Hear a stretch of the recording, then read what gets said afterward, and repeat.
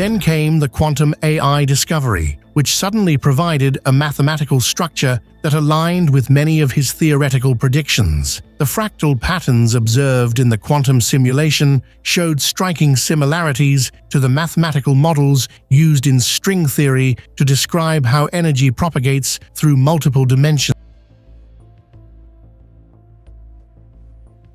Way it seemed to fold back on itself and create recursive loops of information fit with Kaku's speculation about consciousness as a fundamental aspect of reality. Here was something that looked like it might be the mathematical signature of a universe observing itself. When Kaku first analyzed the data, he saw connections that others had missed. The fractal structure wasn't random. It followed specific mathematical rules that corresponded to solutions of the field equations in M-theory, an extension of string theory.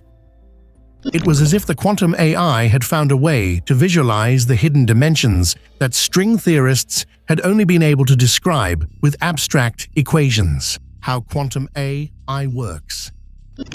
To grasp the significance of this discovery, we need to understand what makes quantum AI different from the artificial intelligence systems we use every day. Your smartphone might have an AI assistant that seems pretty smart, but it's operating on classical computing principles, binary bits that are either 0 or 1.